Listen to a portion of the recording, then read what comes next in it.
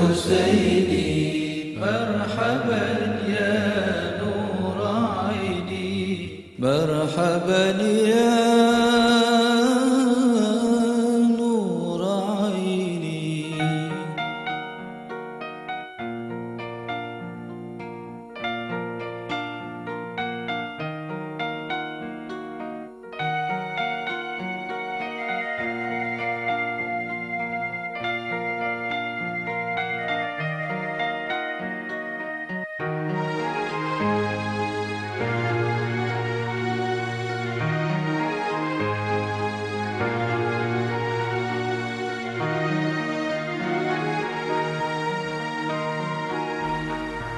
عائشة رضي الله عنها.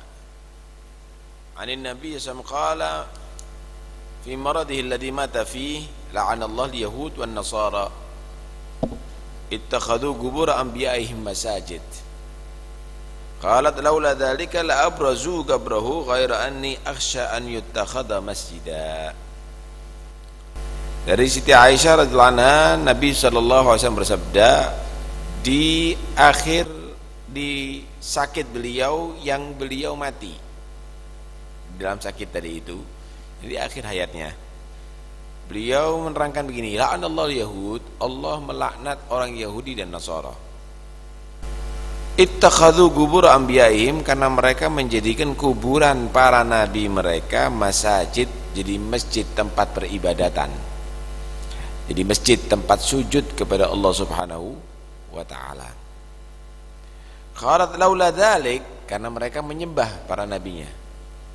Membentuk para anbiyanya dengan patung-patung kemudian dia sholat di situ. Nah. Laula dzalik kalau bukan karena itu kalau bukan karena khawatir kuburannya Nabi juga dibuat seperti orang Yahudi dan orang Nasara tadi itu sebagai tempat sembayangan la abrazu gabroh maka akan dinampakkan kuburannya nggak perlu ditutup lagi. Kuburan Rasulullah. Ghaira anni akhsha cuma aku khawatir an yutakhadha masjidan. Kenapa kok ditutupi kuburan Rasulullah?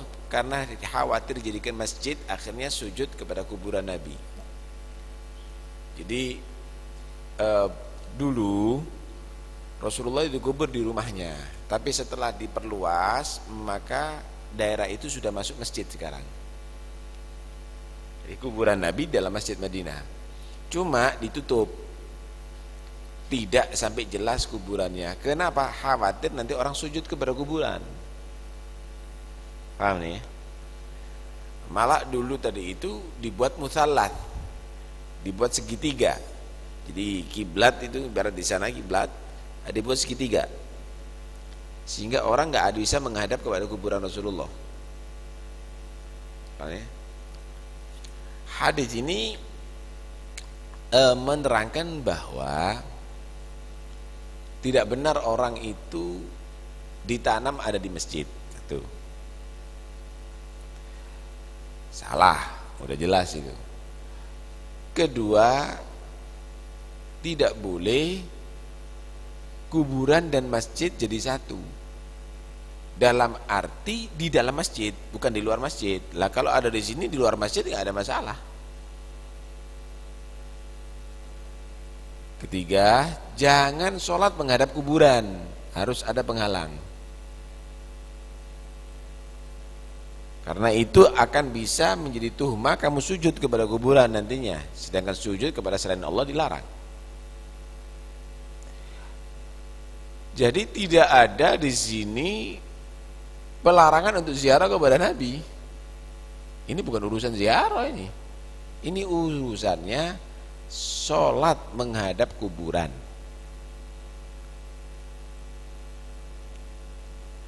Ini urusannya begitu. Jadi bukan bukan urusannya tidak boleh ziarah atau kalau ziarah tidak boleh menghadap kepada Nabi. Nggak ada mas, nggak ada urusannya dengan sana ini. Kita lihat bagaimana hadis-hadis yang lain. Nabi merintahkan untuk ziarah kepada beliau. Man zarani ba'da wafati faka'annama zarani fi hayati. Siapa orang menziarah kepada aku setelah wafatku itu berarti dia ziarah eh, sama dengan dia berziarah kepada aku di masa hidupku. Sallallahu alaihi. Hah? Man hajja falam yazurni faqad. Siapa orang haji enggak ziarah sama aku berarti udah sengaja dia menjauh dari aku, siwak dengan aku kata orang sekarang. Kita lihat bagaimana para sahabat ziarah kepada Nabi. Siti Aisyah ziarah kepada Nabi. Nggak ada masalah untuk ziarahnya. Kalau sholat cuma jangan mengharap menghadap kuburan Nabi. Tutup. Jadi tidak ada di situ ada larangan. Itu doa. Kenapa kok doa menghadap kepada Tidak ada masalah kamu doa menghadap kiblat, kamu doa menghadap ke timur, ke barat, ada larangan memang. Kalau doa nggak ada masalah. Ke mana aja boleh. Malah Imam Malik ketika ditanya, ya Imam Malik, gimana ini? Ketika kita berdoa ada di waktu ziarah Nabi apakah menghadap kiblat membelakangi Nabi atau menghadap kepada Nabi membelakangi kiblat? Kata Imam Malik kalau sholat menghadap kiblat. Kalau untuk membelakangi Nabi Shallallahu Alaihi Wasallam untuk apa? Kiblat itu adalah eh, Ka'bah itu kiblatnya sholat. Tapi Rasulullah kiblat seluruh kehidupan kita Lihat dalam Al-Qur'an sendiri. Kita ini beristighfar suruh kepada Nabi.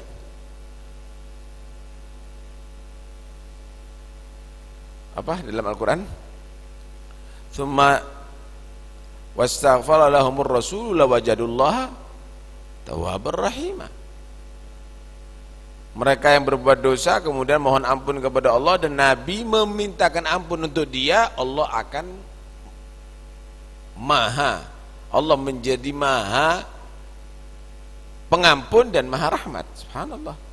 Artinya istighfar dan dosanya diampuni oleh Allah subhanahu wa ta'ala. Tidak ada sedikit pun dalam hadis ini makna dilarang ziarah kepada Nabi Adapun hadis yang menyatakan la tushaddur rihal illa ila thalathati masajid tidak perlu untuk maksa-maksa berangkat kecuali ketiga masjid Masjidil Haram, Masjidil Haram, wa Masjidi Hadha dan masjidku ini Masjid Madinah. Wa Masjidil Aqsa dan Masjidil Aqsa itu adalah menandakan tiga masjid ini enggak sama dengan masjid yang lainnya. Zikru fadilah thalathati masajid. Bukan berarti pergi ke kuburan Nabi adalah salah Gak ada, gak ada di situ. Gini loh gampangannya. Apa bedanya masjid Pasuruan dengan masjid Ampel? Sama. Karena itu kalau kamu niat iktikaf, nadar iktikaf di masjid Ampel, kamu bayar iktikafnya ada di masjid Pasuruan, gak ada masalah. Karena sama statusnya. Tapi kalau kamu niat iktikaf ada di Masjidil Haram, kamu bayar di Masjid Pasuruan, tidak bisa. Kenapa? Ah, tidak bis nggak perlu kita maksa-maksa berangkat ke masjid yang jauh-jauh kecuali masjid tiga ini walaupun jauh berangkat jadi tidak ada larangan berangkat berarti nggak boleh kecuali kepada tiga masjid ini karena itu kalau hadir hall ada di Solo hadir hall ada di Bondowoso hadir hall ada itu itu tidak boleh apanya tidak boleh dan silaturahmi tolabul ilm Berarti nggak boleh semuanya itu. Dakwah nggak boleh semuanya itu. Nggak ada makna begitu karena itu jangan ngabur kalau mengatakan hadis. Nabi aja yang ada di Madinah itu berangkat ke Masjid Guba, padahal Masjid Madinah lebih afdol daripada Masjid Guba.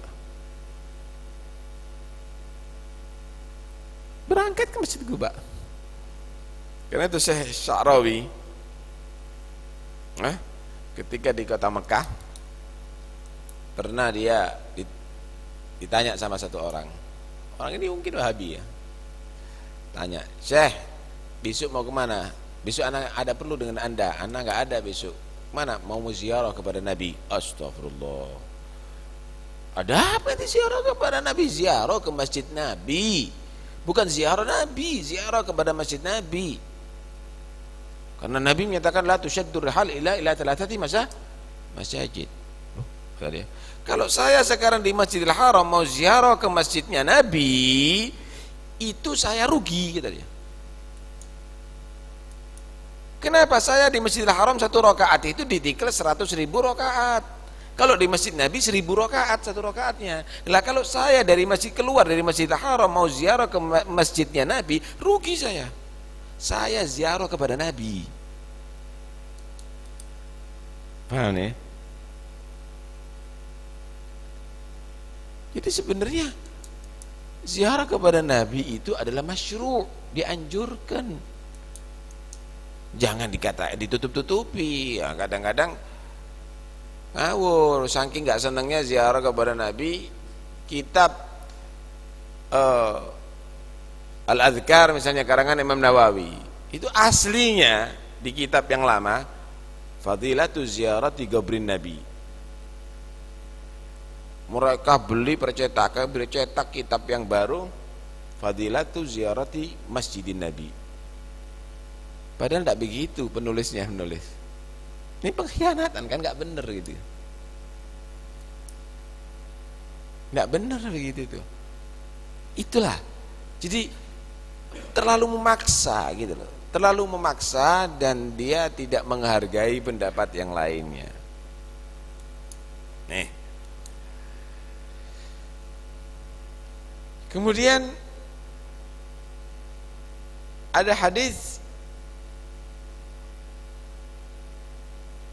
dari Jabir bin Abdullah radhiyallahu anhu qala kana Rasulullah sallam yajma'u baina ar-rajulain min qatla Uhud fi thawb wahid ثم يقول أيهم أكثر أخذا للقرآن فإذا أشير إلى له إلى أحدهما قدمه في اللحد وقال أنا شهيد على هؤلاء يوم القيامة وأمر بدفنهم في دمائهم walam yughassalu walam yusalla alaihim jadi Jabir bin Abdullah berkata ada Rasulullah mengumpulkan dua orang da, di, da, antara syuhada yang tewas ada di peperangan Uhud dalam satu kain. Kemudian Nabi dalam mengubur tanya siapa yang paling ngerti Al-Quran? Maka diawalkan untuk dikuburkan. Nah ini tertibnya ah, dahulukan masalah itu. Jadi harus ada tertib yang al-fadil itu lebih didahulukan daripada al-mafdul tapi itu secara syariah. Kemudian Nabi merintahkan mereka untuk dikubur sama darah-darahnya. Nggak perlu perlu dibersihkan. Nggak disolati nggak dimandikan. Kemudian Nabi menyatakan, "Ana syahid ala haula yaumil qiyamah." Aku akan menjadi saksi. Mereka adalah orang-orang yang baik nanti di hari kiamat. Di sini Nabi saw tidak di sahabat merangkan tidak disolati dan tidak dimandikan. Tapi dari hadis Uqbah bin Amir radhiallahu anhu anna Nabi saw kharaja yaman fassalla ala ahli Uhud salatahu ala al-mayyit. Thumma insarafa ila al-mimbar. Fakala inni faratukum wa ana syahidun alaikum. وإني والله لأنظر إلى حوضي الآن وإني أعطيت مفاتيح خزائن الأرض أو مفاتيح الأرض. وإني والله ما أخاف عليكم أن تشركوا بعدي ولكن أخاف عليكم أن تنافسوا فيها. Dari Uqbah bin Amir radhiyallahu anhu Nabi SAW pernah satu saat keluar ke kuburan Uhud. Kemudian Nabi Sholla alaiha. Sholla alaiha ini da'a Nabi mendoakan kepada yang di Uhud tadi itu sebagaimana mendoakan para mayit. Berarti apa Nabi sini? ziarah. Nabi ziarah ke Uhud. Dan Uhud di luar Madinah. Wala tusyaddu rihal thalathati masjid berarti Nabi salah. Kalau begitu. Nabi keluar ziarah ke Uhud. Kemudian berdoa Rasulullah untuk mereka didoakan mereka. Kemudian Nabi ah, nasihati yang hidup. Ah? Nabi menyatakan kami telah meninggalkan kamu artinya kamu sudah mendahului kami wahai syuhada Uhud dan aku akan menjadi saksi nanti dari kiamat. Kemudian Nabi menyatakan aku ini sekarang melihat haud telaga haudku di hari kiamat. Sekarang aku lihat. Padahal belum kiamat loh itu. Hah? aku ini sudah menyaksikan dan aku sekarang dikasih oleh Allah kunci segala kemewahan bumi. Khazainil ard. Kalau nabi itu mau jadi terkaya bisa. Kuncinya udah dikasih oleh Allah. Mau minta apa dikasih? Hah? Demi Allah aku tidak khawatir kepada kamu untuk menjadi syirik setelah aku tapi aku khawatir kepada kamu kamu bermegah-megahan kamu bersaing dalam urusan dunia. Jadi di sini ada beberapa hal. Pertama, Nabi menyatakan aku melihat hautku sekarang. Padahal belum terjadi itu kan. Itulah bagaimana Rasulullah Wasallam pandangannya nggak sama dengan kita. Allah Subhanahu Wa Taala jadikan pandangan Nabi itu bisa ngelihat surga yang belum dimasuki oleh siapa pun, siapa pun bisa melihat kiamat, bisa melihat kejadian yang belum datang. Aku sekarang ngelihat hautku, kata Rasulullah. Kedua, Nabi itu bisa menjadikan umatnya kaya semuanya. Karena sudah itu mafatihal ard. Semua ini bisa kaya. Cuma ada yang dikhawatirkan oleh Nabi, bukan umatnya jadi syirik lagi. Insya Allah umat Muhammad ini banyak kuat, nggak gampang murtad. Karena itu nggak usah lah mereka itu nuduh-nuduh syirik-syirik itu percuma. Nabi aja nggak khawatir kok. Inti khawatir syirik sampai tempat kelahiran Nabi dibongkar, kemudian tempat itu dihancurkan, tempat ini dihancurkan. Nabi itu menyatakan, "Ma'akhafu alaikum atusyriku ba'di." Aku tidak khawatir kamu itu syirik setelah aku. Nabi itu tidak khawatir syirik. Tapi yang dikhawatirkan oleh Nabi nah ini. Kamu kalau dibuka kekayaan akan bersaing dan akhirnya bermusuhan. Sebenarnya orang-orang Wahabi itu nggak perlu dia tadi itu khawatir orang-orang itu syirik kalau ziarah kepada Nabi khawatir orang itu syirik kalau ziarah kepada bagi khawatir orang-orang itu syirik kalau ziarah kepada ma'atir nggak perlu. Yang perlu dikhawatir ya, ya, yang perlu mereka khawatirkan sebagaimana Nabi mengkhawatirkan. Dunianya mereka ini mereka bersaing sampai lupa kepada Allah. Akhirnya berteman sama Amerika musuh sama muslimin. Tidak peduli dengan keadaan yang ada di Palestina. Ini yang dikhawatirkan oleh Nabi beneran ini. Kaya kan Saudi sekarang akhirnya bersaing dengan urusan duniawi aja. Nggak peduli masih Masjidil Aqsa diinjak sama Israel nggak peduli. Nah karena itu udahlah. Nggak usah ente berkoar-koar takut syirik menjaga iman ahlu tauhid itu dan ini. Ini yang dikhawatirkan Nabi. Walakin akhafu alaikum antanafasuha aku ini khawatir kepada kamu antanafasu fiha. Kamu itu bersaing dalam urusan duniawi aja. Dan itu yang terjadi kok. Benar ini apa yang katakan Nabi? Kekhawatiran itu udah terjadi kan sekarang. Jadi tuduhan-tuduhan syirik itu semuanya nonsen. Nol besar. Eh, intinya duniawi. Masa rumahnya Rasulullah dibongkar dibuat untuk kamar mandi. Jadi bayangkan itu. Kerja semuanya. Nah, karena itu eh, kita harus paham dengan apa yang dikatakan oleh Nabi dan itu semuanya terjadi. Ini hadis riwayat Bukhari. Hadis sahih wallahu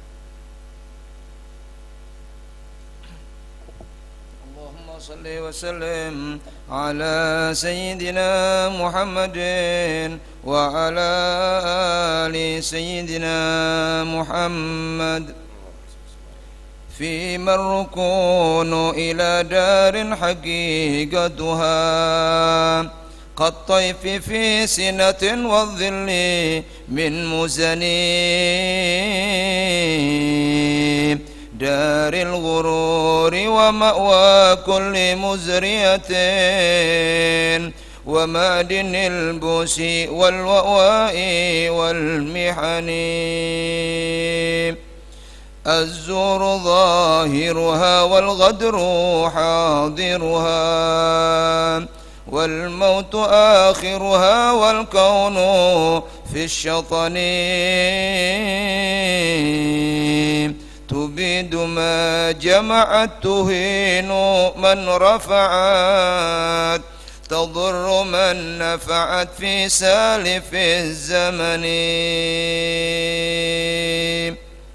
النفس تعشكها والعين ترمكها لكون ظاهرها في صورة الحسن.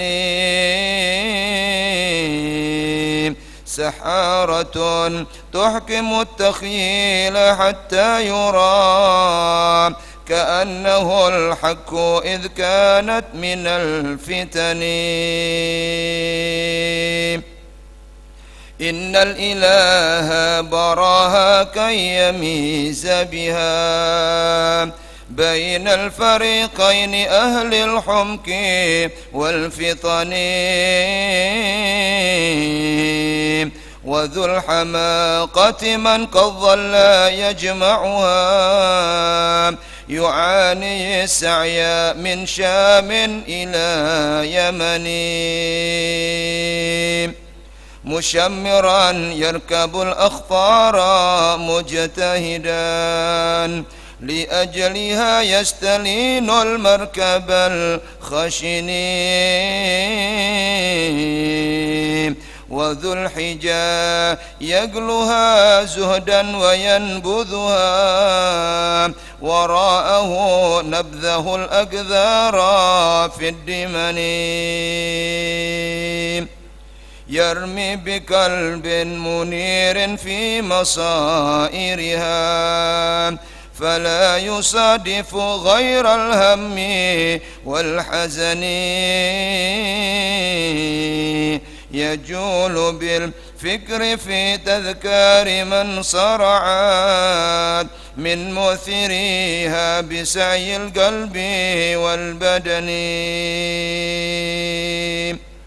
ممن أشاد مبانيها وأحكمها ليستجن من الأقذار والجنن. نالوا مكارمها أحيوا معالمها. سلوا صوارمها للبغي والضغن والحمد لله رب العالمين. اللهم صل أفضل صلاة على أسعد مخلوقاتك سيدنا محمد وعلى آله وصحبه وسلم عدد معلوماتك ومداد كلماتك.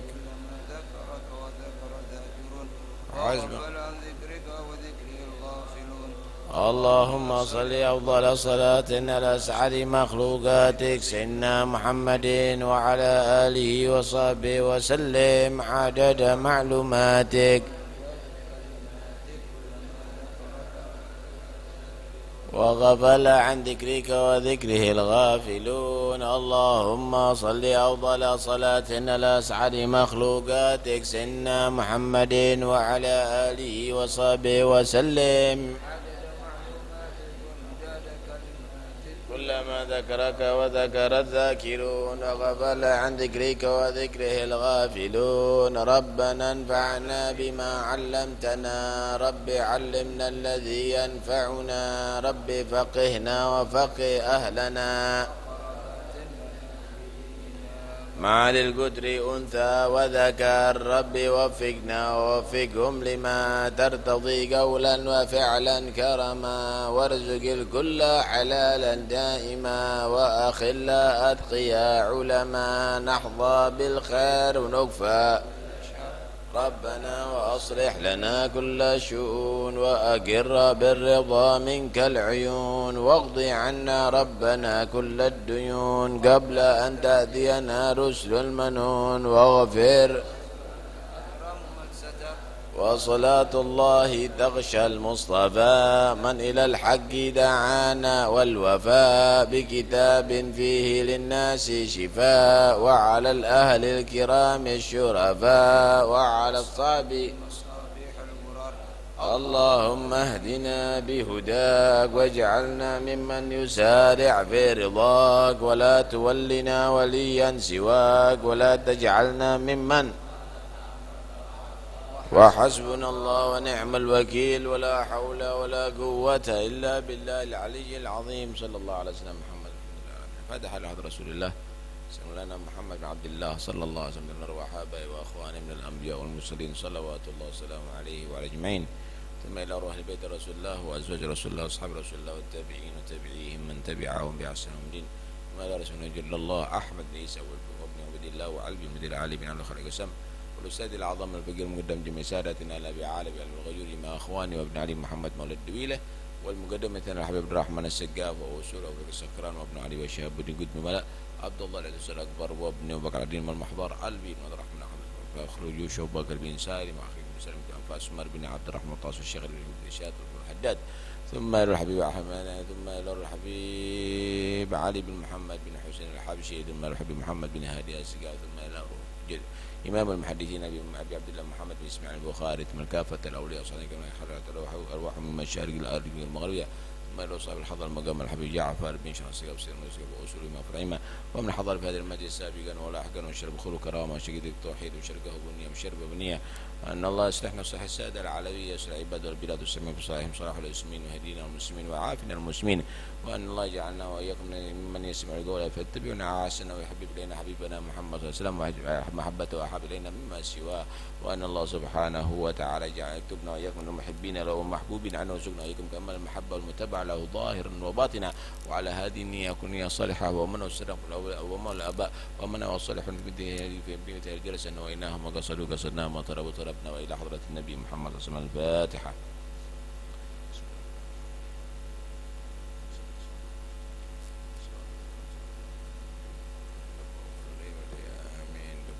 منا. إنك أنت السميع العليم. وتب علينا. أنت الرحيم. ارحمنا يا رحمن الرحيم اغفر لنا خرابين صلى الله على سيدنا محمد いいんだな。